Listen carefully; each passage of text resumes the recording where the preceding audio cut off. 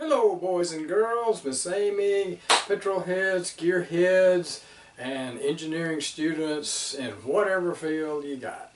Here is another five minute Grandpa Smitty Motorsports expla explanation class. Alright, video number three, what are they made of? Poppet valve.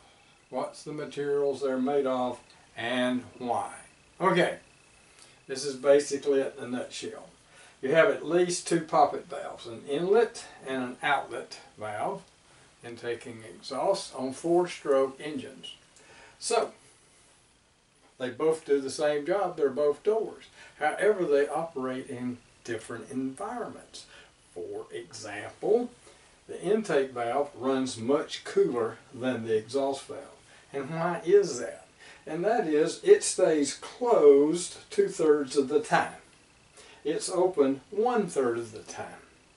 And during the one third of the time it's open, fuel and air mixture, which is cool in proportion, flows past this in a very quick violet blasting stream into the cylinder which cools and takes away the heat that's been baking into the face of this valve from the power stroke and the exhaust stroke.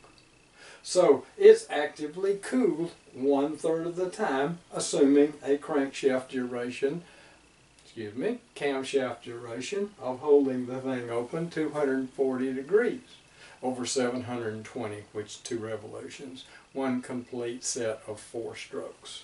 Okay, now if we have a single profile uh, cam in the engine, that means we'll have the same number of degrees on the exhaust. However, the reciprocal happens over here. What I mean by that? Very simply, where this one is blast cooled, this one is blast heated. One third of the time the exhaust valve opens and this brag, dragon breath here goes screaming past this, heating the neck, the face, the valve, everything can glow this red hot and really high power applications. And so one third of the time, this thing is get blast heated. It only cools when it can shut and try to get rid of some heat before the next heating cycle comes around. So,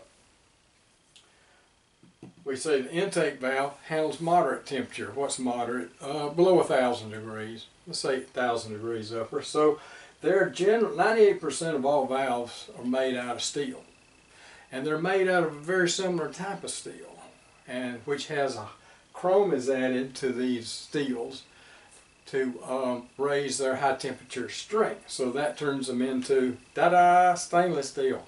Okay so depending on the percentages and everything so the uh, intake valves handling less temperature it's more important that they have hardness in the stem area because the gasoline tends to wash away the lubrication and you want a nice slick super hard stem where over here you need to handle heat because this thing runs hot.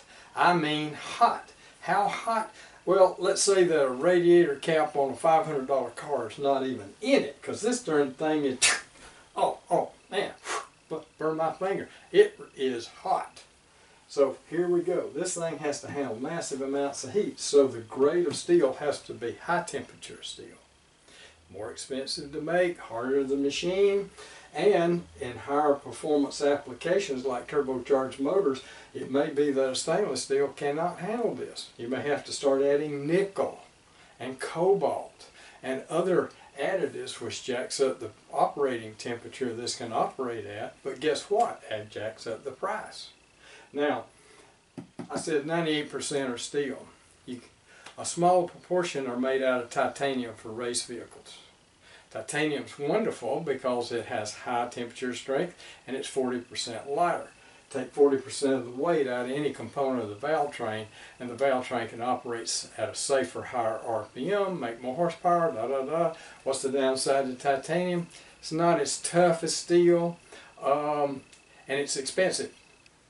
So it's not as tough, won't last as long, so you wouldn't want titanium valves necessarily in a street engine. However, perfect for race engines which have short normal operating lives. But the cost is like 75, 80 bucks a valve. So on a V8, you could spend easily $1,200 on a set of valves. Ta-da! So we only go to titanium, Inconel, and exotic alloys when we're forced to. So that's basically it, ladies and gentlemen. You have a lower cost, tough, high wear resistant on the intake, have a very high temperature on the exhaust. Next video, number four, we're going to talk about the thermal management over here on this exhaust valve and just why that's so important.